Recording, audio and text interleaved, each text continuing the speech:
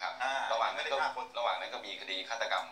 เอ่อผู้นำต่อต้านบ่อขยะราชาเทวะสมุทรสมุทรปราการครับ เอ่อกองปราบโดยท่านท่านรองพิสิทธิ์วิสุทธิ์ศักดิ์